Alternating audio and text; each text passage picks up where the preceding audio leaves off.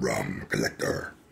Alright guys, took me a little longer than expected, but I finished mine with no problem because I already had the adapters that work really good.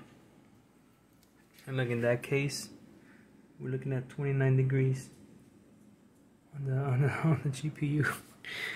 the little little GT 1030 in there is chilling. I put uh, the big fan put the OEM rear fan on top facing down blowing down. And then I put the red fan as an exhaust. So I got intake intake and exhaust. Alright and on the I see you can see my gaming PC's up my streaming PC's up. And on this one I did one red on top the original one? Original one next to it? And then I did the ring. The one that I had inside the inside my gaming on the Optiplex.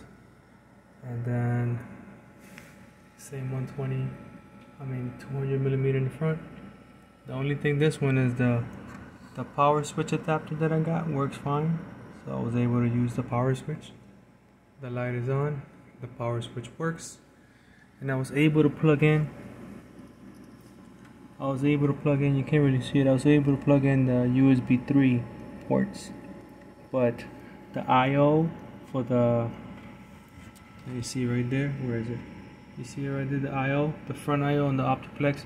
I had to rig it up and put it in here because if I didn't put that I couldn't get the I couldn't get the computer running because the adapter that this freaking guy on eBay sold me was the wrong adapter for the bottom for the bottom IO for the for the headphones and for the USB so on this one on this one the power switch works the power light works but I'm not getting any of the hard drive light and I'm not getting any of the jacks or the two USBs I'm missing these two USBs and the jacks. I mean, it's my gaming computer, so I don't really use that anyways. And the USB 3, I was able to plug it in. So at least I have one USB port up here and the power switch. See the light blinking in there? Yeah. Well, I'll leave it at that for now. I mean, I don't use it every day. I use it mostly to play. The one I use every day is this one. So this one works perfectly. This one is working good power switch on top. Hard drive light works. All the USB plugs work. Everything everything here works like normal. Because I got the right adapter in there. Right adapter that's missing two pins. The adapter this guy gave me has like all the pins. And uh, the plug that came with the case that comes with the case for the hard for the audio and the USB it has a pin that's missing in a specific spot so it's the wrong one.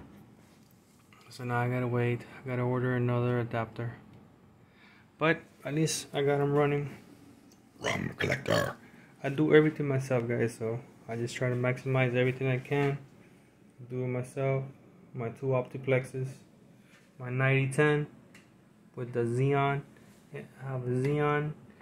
Um, E3 1240 V2 in here with the 16 gigs of RAM, Hyperthread, the Kingston, the GT1030 in there.